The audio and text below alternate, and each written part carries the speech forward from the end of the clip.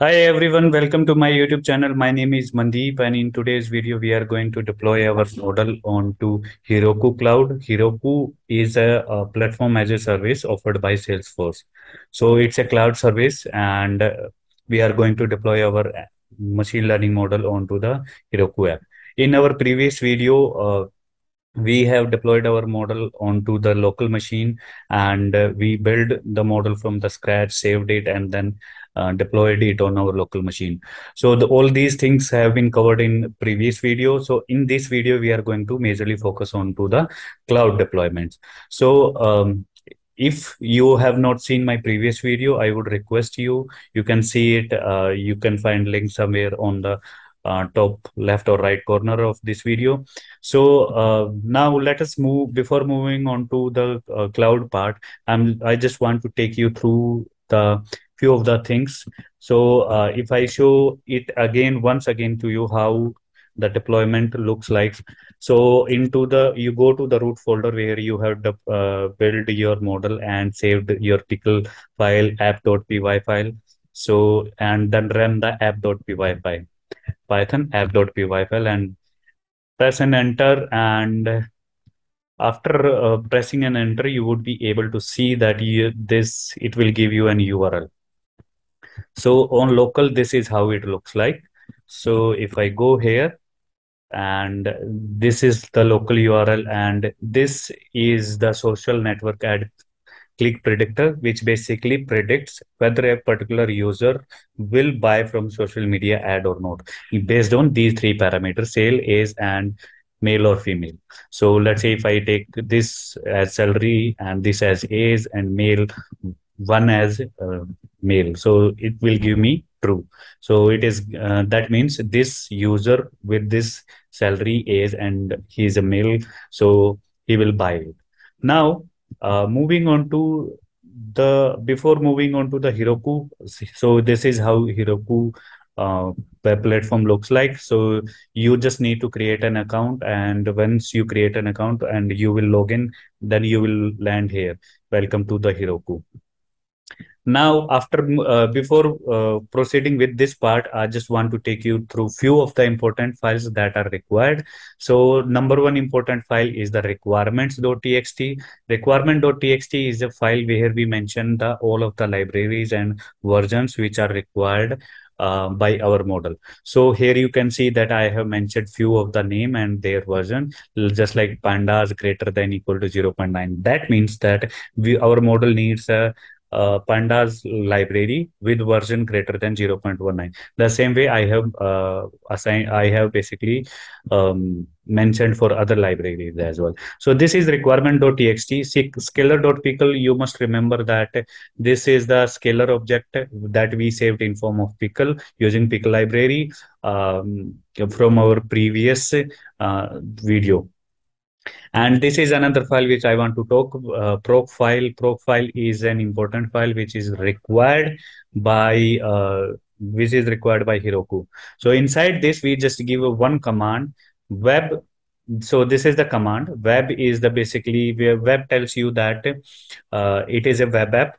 Gunicorn tells Gunicorn is basically one of the libraries which is required. So Gunicorn, you can see that uh, so Heroku uh, platform is going to use Gunicorn.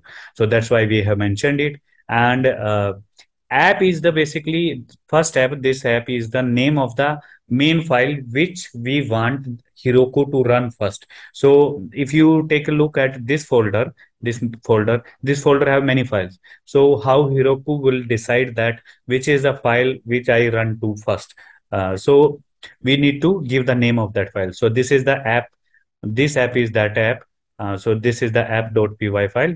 And the next app there is one more app you can see that. This is the name of the uh, your flask object. So if you go inside this app.py file you can see that inside flask uh, we have created a flask object and then we created it with the name of app. If we have created with the, some another name then we need to mention something else here with for the second app so this is the you can think you can think of it as a fixed format.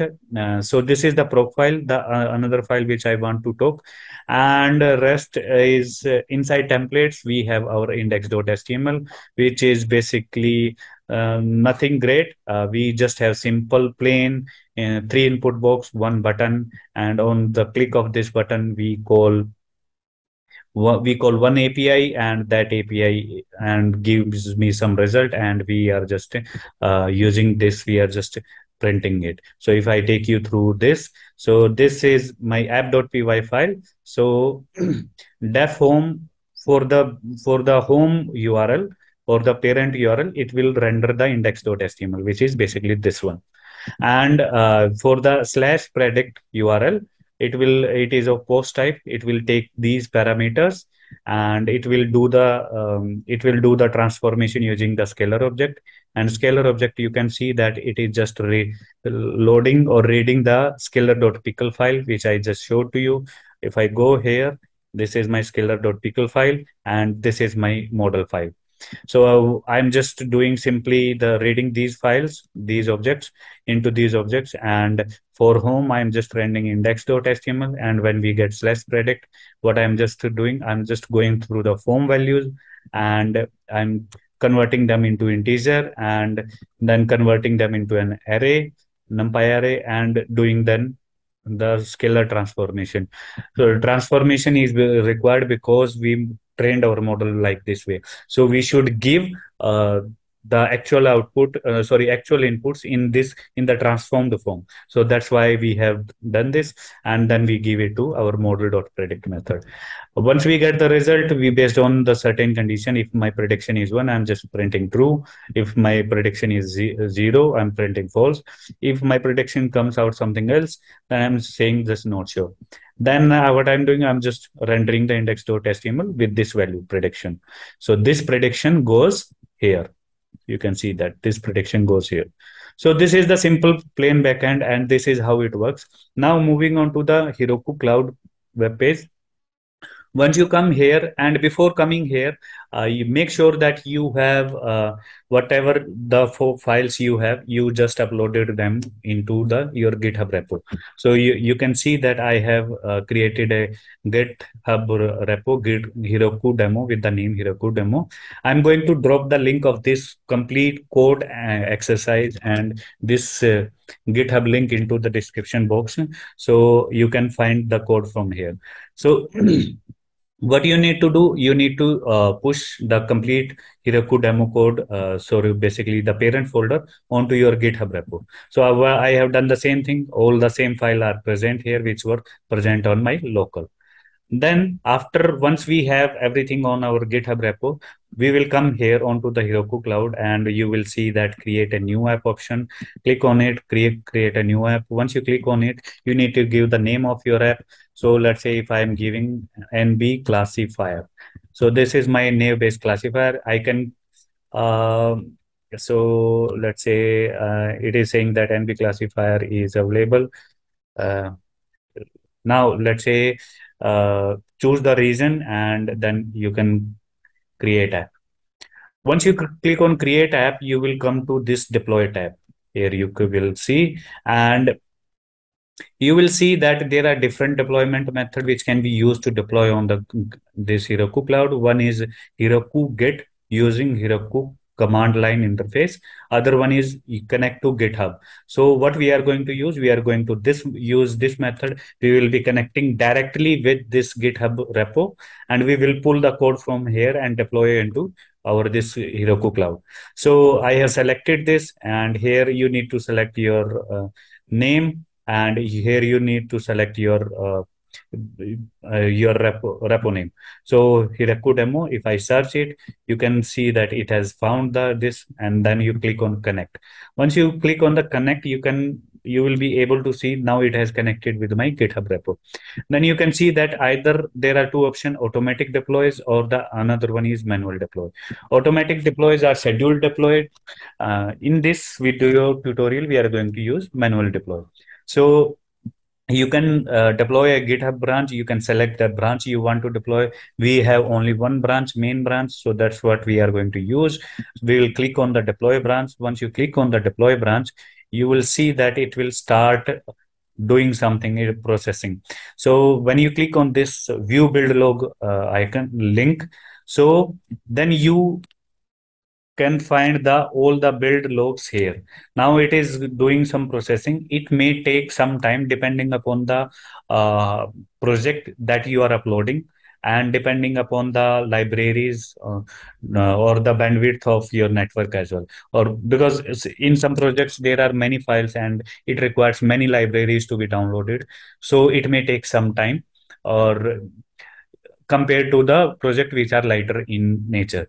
So we can wait here for a couple of minutes and once it is finished it will tell us whether the deployment uh, has been successful or it got failed.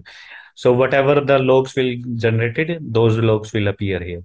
So meanwhile it is doing this processing. We can wait here for few minutes or seconds.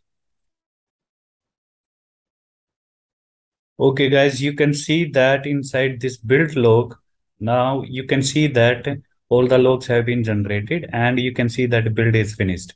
So if you take a close look at this thing, as I told you that it will first install all of the libraries. So you can see that it has uh, installed all of the libraries which were mentioned into our requirement.txt. And once we have uh, installed, uh, got all the installed libraries over here. And then you can see that at the end it will give a url and it will tell that it is deployed. Our app is deployed at this url so you click on this or you copy this. And after copying this you can open it into your browser tab. And let's say we go here and now you can see that it has been deployed and now for a sample purpose, if I run some of the thing, some any random, and if I run it, you can see that it is giving me output as well. So this is how uh, we can deploy a machine learning model onto the Heroku cloud. And uh, if you go to the settings part, one more thing I want to show it to you. You can see that this is the URL that is generated by our by default URL, which was generated by Heroku Cloud. But once you go to the settings section inside your app, you can do the all different settings here. You can apply the SSL certificates and you can register, you, you can add your custom domain or custom URL as well. You can use here. So all of the, these things are available here and you can explore. And if you want to delete this app you at the bottom of this you can delete this. So that's all for this video guys. Uh, this is all about deploying a ml model or any of the model onto the heroku cloud. Um, stay tuned for more such interesting video. If you want to uh, learn machine learning from uh, absolute scratch uh, then please check out this uh, playlist. I have given the link into the um, description of this video.